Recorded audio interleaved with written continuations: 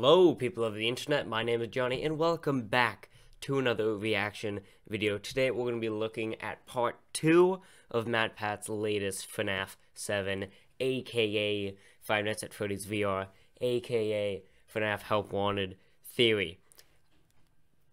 What do you want, Riley? I'm recording. Go away! I'll cut that out, don't worry.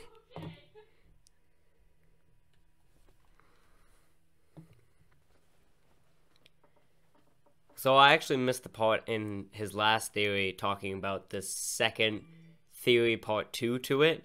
So I missed that, but thanks to you guys, I know about it now, and even if I didn't, it's here. So I'm going to be reacting to that. My problem with the theory last time was that it didn't fit the timeline he created because FNAF Help Wanted, in my opinion, the gameplay is not going to be canon anyways um, because we're going to location to location with all the animatronics.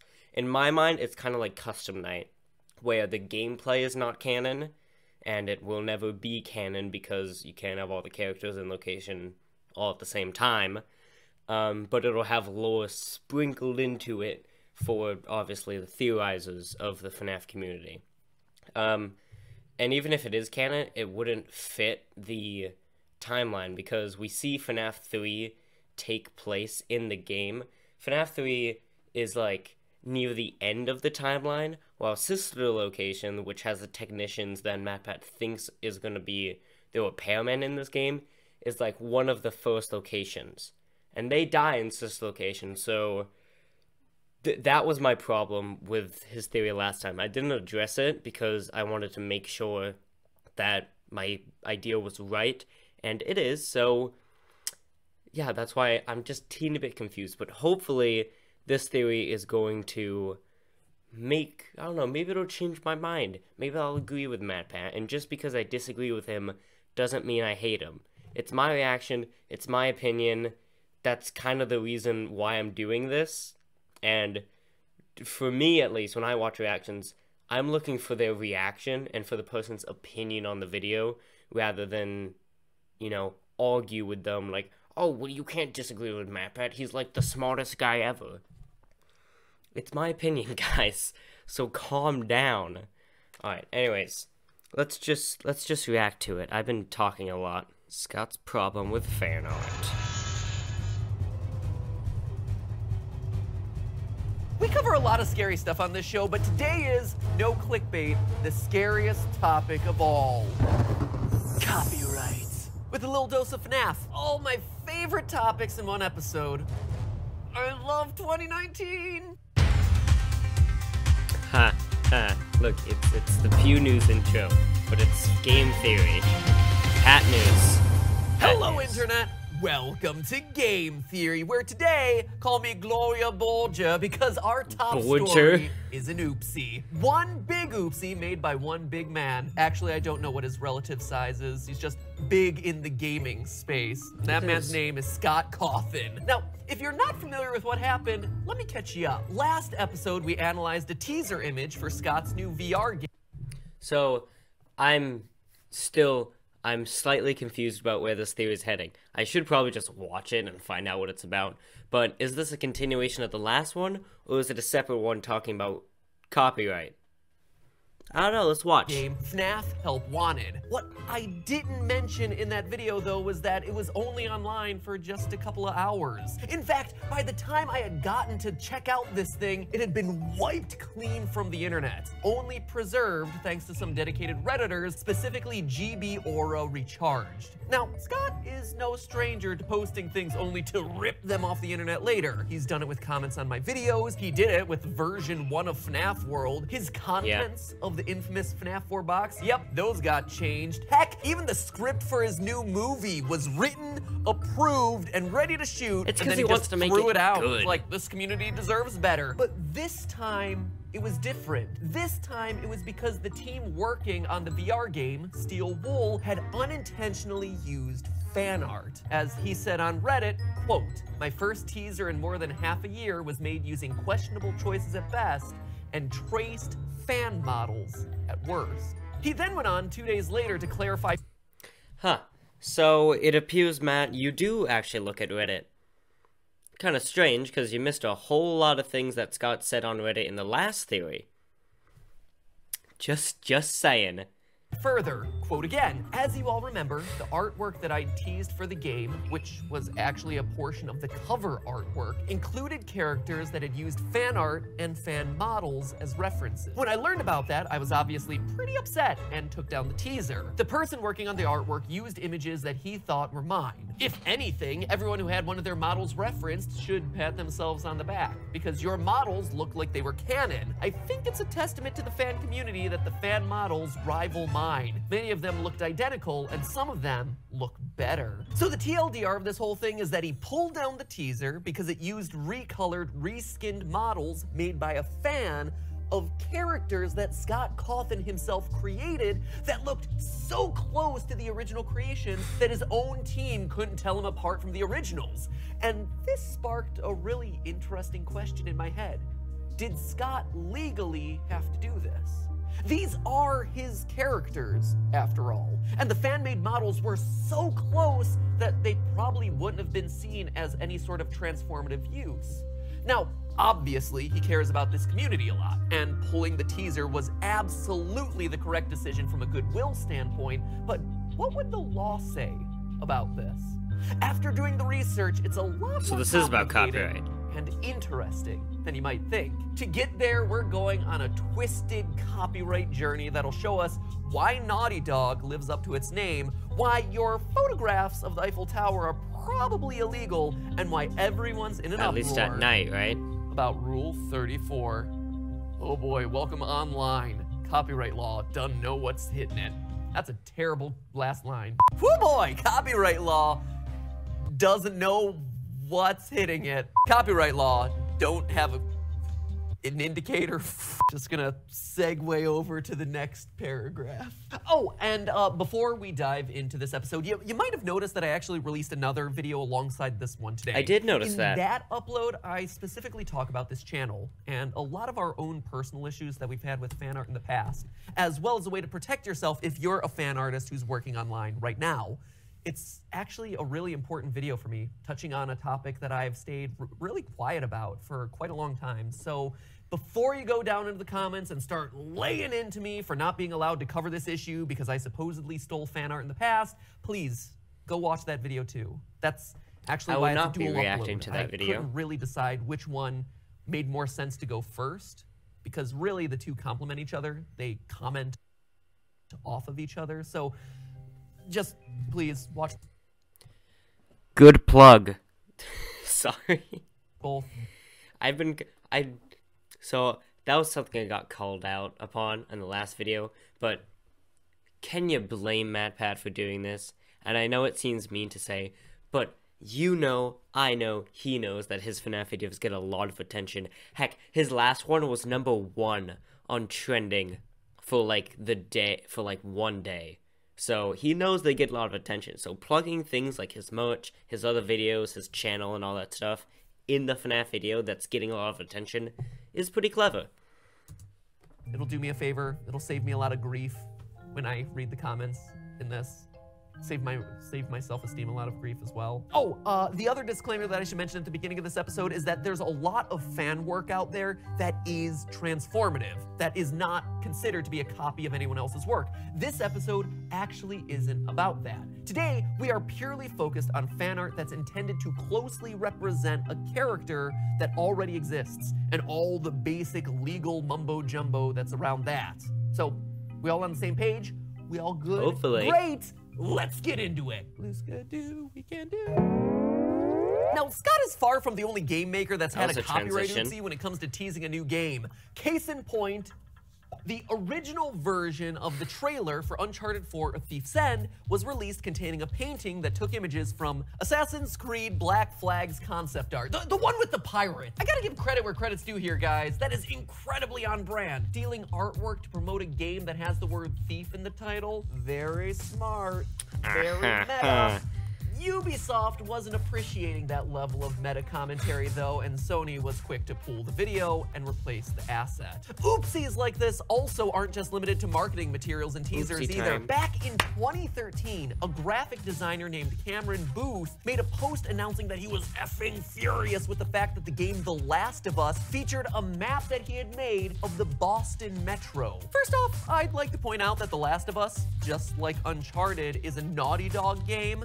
I guess we know what the naughty is referring to in their name. But after what I assume was a swift apology and a fairly decent payoff, Cameron quickly dialed back his language in a later public post saying, It seems as if matters will be resolved to everyone's satisfaction shortly. Great, I'm so happy for you guys. Money truly heals all wounds. But this case already starts to reveal some weird nuances of the copyright world because while the graphic designer who made the picture owns the copyright to his map and was absolutely in his right to complain about the improper usage, he actually doesn't have the copyright to the Boston Metro itself. Does that sound dumb? You bet it does. In fact, it is so dumb that it can't be anything Ads. other than real. Real world pieces of architecture are subject to their own copyright. Just like one musician can't copy the song of another musician, so too an architect can't copy the building design created by another architect. Things get even weirder though when you start thinking about what this means for pictures that people are taking in front of buildings. Those pictures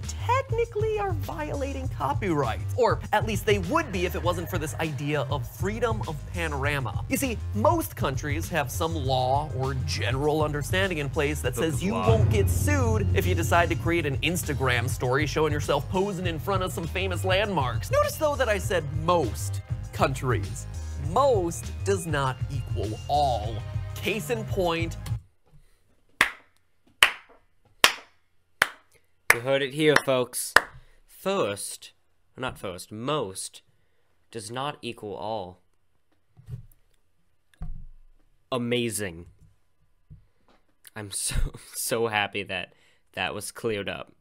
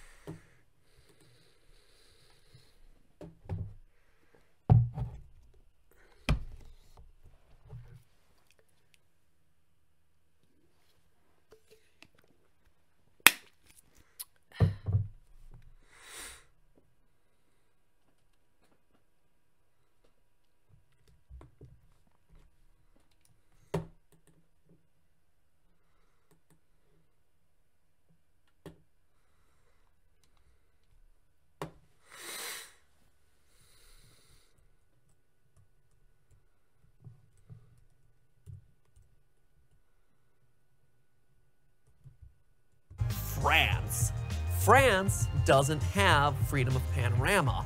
As a result, technically speaking, you legally shouldn't be able to post photographs of the Eiffel Tower, but only the night photographs. You see, because the Eiffel Called Tower it. without lights was built in 1889, that one is old enough to have entered the public domain. But the lights that go on at night were installed in 1985, thereby making this an artistic work with live copyright, making posting photos of it illegal. That means that anything you find in a regular Google image search under Eiffel Tower at night was probably taken by fearless outlaws who are flouting the law, throwing caution to the wind, and posting their tourist photos of the Eiffel Tower in the evening. Probably a bunch of developers at Naughty Dog being like, whatever, we don't care. We steal artwork all the time. We're Naughty Dog. We're dogs who are naughty. So what does the Eiffel Tower have to do with FNAF fan art? Well, obviously people are I mean, we are about nearly halfway through the video, so tell us, Matt. taking photos of the Eiffel Tower and art getting thrown in les prisons. I actually didn't learn the word for prison when I took French. And that's because these crazy laws don't matter for people who are only using the image for personal consumption. You put an image on your fridge or you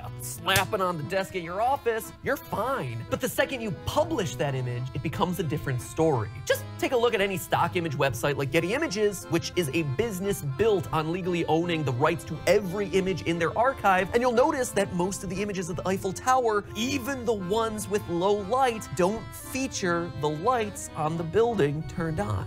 And this is where things get tricky as if they weren't overly complicated enough. You see, if you publish a piece of artwork that features a character like Mangle or Mario or Mewtwo or heck Elsa, and you don't own the copyright to that character, then publishing that fan work is technically a copyright violation, which merits a huge question, what counts as publishing? Now, obviously, publishing includes things like putting it in a book that ends up in Barnes & Noble, but publishing actually has a much broader definition in the legal sense. Publishing, in the broadest sense of the word, just means causing something to become public or making it publicly known. That means Really? that everything from printing up and handing out a bunch of flyers on the street to, you guessed it, posting it online is covered. It doesn't even matter if it's a non-commercial type of posting. Posting fan art non-commercially on your blog or a site like Tumblr or Instagram or Twitter all count as publishing that image. And if you're thinking to yourself,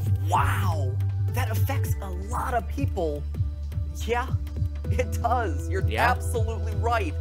Technically speaking, every fan artist on Tumblr and DeviantArt and Pinterest and Pixiv and their own independent blog, they are I've never heard of technically violating copyright every time they post a new sketch of an existing character that's not transformative enough to be considered fair use. I know! I know that sounds unbelievable, and that every fan artist out there is lighting their torch and rummaging for their proverbial pitchfork to come after me right now. But first off, don't kill the messenger here, guys. Legally, this is the truth based on the lawyers that I've spoken with and the legal papers that we've read. That is the letter of the law. But the letter is obviously only half the story, considering, of course, that the prisons It's also half the video. across the country aren't filled with Rainbow Dash fan artists and bendy modelers. Though it'd be pretty funny if they were. What are you in for? Killed a guy. You? I drew a pink pony very accurately. In actual practice, the situation favors fan artists a lot more than you might first think. As you can see pretty much everywhere on the internet, it's really rare for copyright holders to try and enforce their copyright. The only instances where you see this actually happen tend to be when a brand feels that the art that's being made really misrepresents their IP. One really convenient example of this in the gaming world is Blizzard, who issued DMCA takedowns across a bunch of different fan art in efforts to stop people from making um how do I put this nicely? yeah. yeah. Renditions of Overwatch characters in uh, compromising situations, loving each other just a bit too Oh. much for their liking. For those of you who have the foreign tongue, images of their characters in flagrante delicto, in the carnal Embrace tranquility. Basically, Blizzard wanted people to skip from Rule 33 to Rule 35 of the Internet Handbook, if you catch my drift. And you can imagine just how effective Blizzard was at accomplishing that goal. Not that I would know personally, I was just doing research. Uh-huh. For a friend. Anyway, according to the guidelines from Blizzard's policy on Sure. creations, they cracked down in order to, quote, maintain and protect the image of their games. They also said Blizzard requires that productions maintain the T rating that has been given to its products by the ESRB. And I get that, right? It makes sense. Well, it might have been kind of a futile effort to remove sexy time from the internet. Legally speaking, they're entirely within their legal right to protect their brand. But speaking of legal rights, it is a two way street. Even though a company owns the rights to its characters, you, as the fan artist, own the right to your individual piece of fan art. So, going all the way back to our example of FNAF fan art, which there's a lot out there, if you drew a picture of Freddy and the cupcake, what are the actual rights for that image? Well, Scott owns the copyright to the character, but you you own the copyright to that specific image. So you can't publish it. You don't own the rights to the character. Scott but can. Scott also can't publish that Oh. image because he doesn't have the rights to your Oh, artwork. I you are it. both caught. As it turns out, no one really has the rights to publish that image. Unless, of course, you both agree to it, but good luck there. Scott doesn't talk to anyone. Hey, Scott, it's Matt. Except for Dawko. Yeah. Probably his secret son. I don't know. Talks to Dawko like all the time. Honey's a free browser that's add-on true. Now, what would have happened if Scott hadn't owned up to his oopsie and the situation had actually escalated? Oops. What could the fan artist who created those character models have done to him? Turns out a very similar issue has come up and was settled in a fairly famous case with the iconic Obama Hope image from that election. The artist of the famous Obama image, Shepard Fairey, who is actually one of my favorite street artists, created the artwork, but he copied the image from a photograph Oh my god. Lag!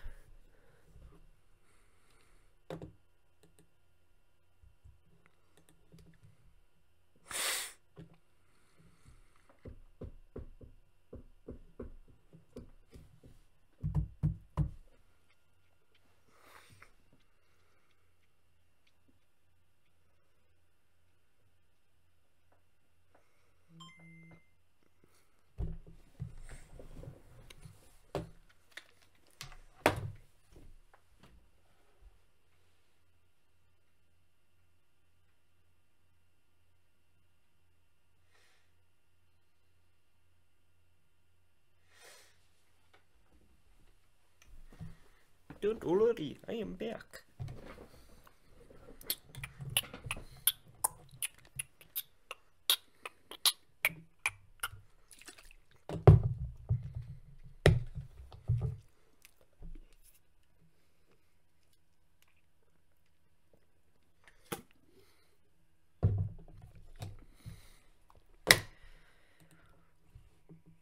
of Obama that he, quote, found on the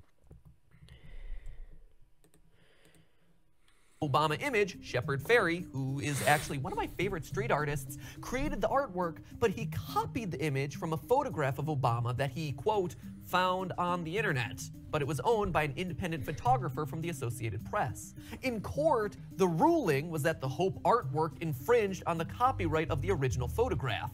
The original owner of the photograph now participates in all money that's earned by the rights to that image. This is also the one case where I'll actually mention fair use because Shepard Fairey actually tried to make the argument that his work here was transformative, but the court didn't buy it. In fact, he almost went to jail for it. The upshot of this whole thing is that, in theory, if a legal fight like this one would have happened in Scott's case, it could have very easily landed both parties in court, and it would have actually been pretty hard for Scott to win. Luckily, Scott. none of that happened. And I think a lot of that is because Scott holds himself to a higher standard and wouldn't have wanted to do a disservice to his fans. As he said in his Thank you. apology, quote, the only thing I care about is doing right by this community.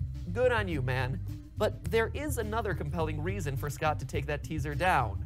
Money. You see, the other big complicating factor in all of this isn't whether someone is really infringing on their copyright, but whether they're I think he's talking making about the money thing he's trying to get from this video. In the United States, criminal copyright laws prohibit you from actually using someone else's That was a joke, don't get property for mad. Your own financial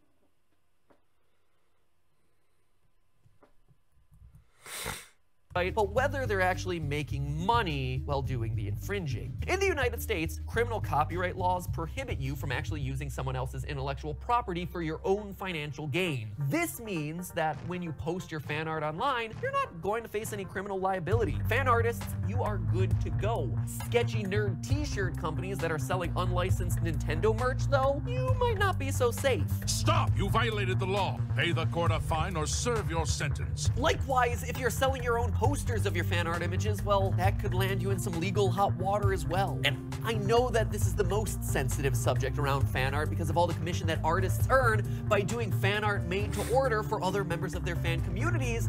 I'm not condemning anyone. I'm not passing any sort of judgment on anyone else's online business. As someone who uses a lot of online images of other people's IP, I'm kind of digging my own grave here as well. This whole topic just makes me uncomfortable, especially since that's still not the end of this whole story. 'Cause we There's still have, like, still five a minutes left. couple of ways that you could actually be sued, even if you did commercialize your fan art. The company would need to show in court that your art had damaged their company in some way, using the naughty Overwatch picture example again, if I can. If Blizzard took the fan artists to court, they would need to prove that somehow this adult-only content had damaged their their brand in some way. In their case, Blizzard is trying to market their game Overwatch as a family-friendly experience for all players ages 13 and over. And so the brand may actually get hurt if the first thing that comes up when mom starts Googling Orisa is a bunch of this very family unfriendly images. How much, though? It's actually hard to tell. While it seems like they would actually have a good case, it's still really hard to quantify how much their brand would get hurt by stuff like this, which is blurry behind me.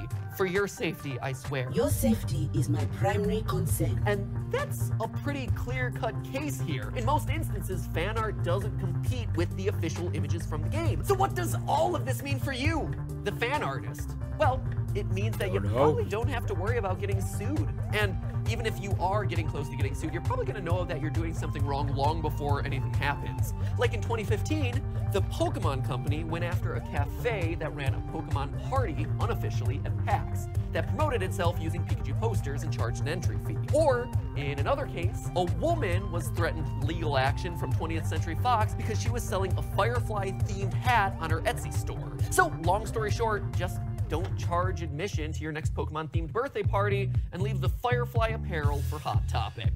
But to bring it all the way back around to FNAF one last Finally. time, while Scott doesn't stand to gain a whole lot by suing his fans over their creations, he does stand to lose a whole lot if he uses a fan-made model in the box art for a VR game that is for profit and could potentially make millions of dollars. See, if he kept those fan models in his box art, it would, in theory, open him up to a much bigger legal problem where he might have to pay thousands or even tens of thousands of dollars in royalties simply for using those two pieces of artwork. So, Scott's decision to take down the teaser image was certainly the right thing to do from a moral perspective, but it's also the correct thing to do from a business perspective. I mean, don't get me wrong, Why, Scott is all about giving back to the FNAF community, but maybe he's not interested in giving that much back.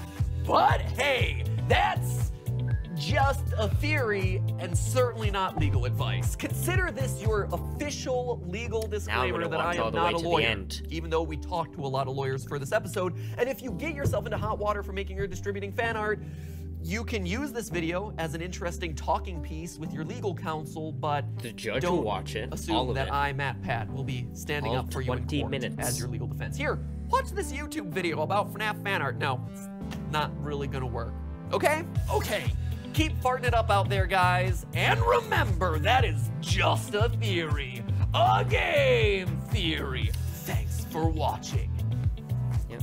Ah, gotta gotta put the logo in the FNAF 4 house so you may forget that this was even a FNAF theory at all. This. This face. This is the face that you will see in the thumbnail. Because that is my. This is my accurate representation of how I feel right now due to this video. it barely had anything to do with FNAF. I swear he talked about Blizzard and Overwatch more than he talked about FNAF. He very well could have made it about Blizzard and Overwatch and their situation, but because it's FNAF, it's gonna get more attention, it's gonna get him more money. Isn't that the whole point of this video? he was talking about business, he was talking about money. He was actually talking about himself. That's the big plot twist of this video. Yep, that was actually him all along. And I know, I don't even care that I'm gonna get hate about this. This was by far one of the clickbaitiest things I've ever seen on FNAF. And the worst part was that it was MatPat. It was freaking MatPat.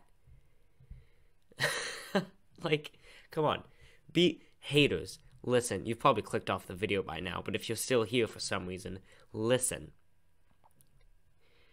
He talked about Overwatch so much and how the like the Rule 34 fan art of Overwatch could ruin their company. He had some pretty good pretty good cases about that, right? And he totally could have made the video about that. But because of FNAF's latest game and the situ obviously it's a perfect situation and I guess it, it's a good follow-up to the last theory, but because it's FNAF, he knows he's going to get more attention from this.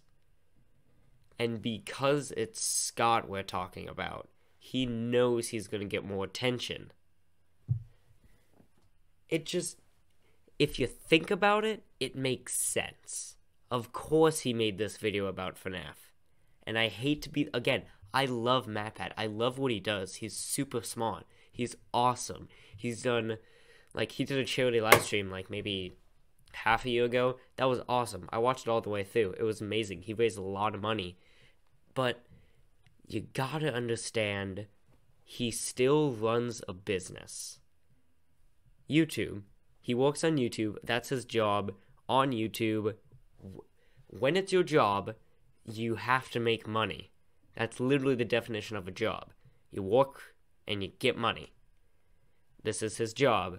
And when you know that you can do something, when you know that you can do something that'll get you more attention and more money, you take it. You like you obviously take it. I'm this isn't a stupid like it makes sense. I'm not just saying this so I can be that guy out there that's like, "Oh, this video's stupid." It's not stupid. It's a pretty good video. It had great points and the concept was awesome. I think, you know, he did a great job spreading the word about copyright and all that stuff. But because it's FNAF, he he like I'd say maybe a quarter of that video was talking about FNAF. He also finally mentioned Reddit and Scott and his conversations on Reddit. He finally mentioned that. But why didn't he mention it? Because it suits the video's plot and what he's trying to get across. He didn't do it in the last theory. He didn't bring up the timeline in the last theory because it doesn't make any sense. But this time he brought up because it's Scott and people are worried about him. People are worried he might go to jail. People are worried he might get sued. You know, all that stuff. I hate to be this guy, but it makes sense. You're welcome, haters. Leave leave a dislike on this video. I'm fine with that. I you can tell that I didn't really like this video much. Just because he made it he made it seem like there was going to be more FNAF in it. I thought this was going to be a follow-up to the last theory and have more evidence about the last theory. But nope. It was barely even about FNAF. Anyways, I think I think I've done my poet.